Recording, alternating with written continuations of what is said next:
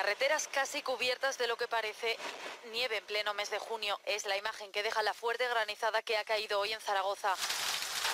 Lo mismo se ha sentido hoy aquí.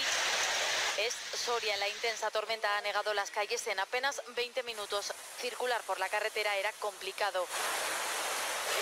Un río de granizo que también ha llegado hasta Girona.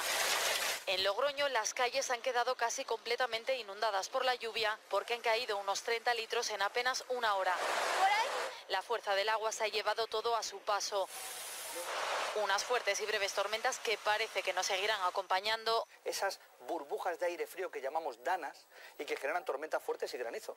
Pues otra dana más vamos a tener durante este primer fin de semana de junio desplazándose por la mayor parte de la península.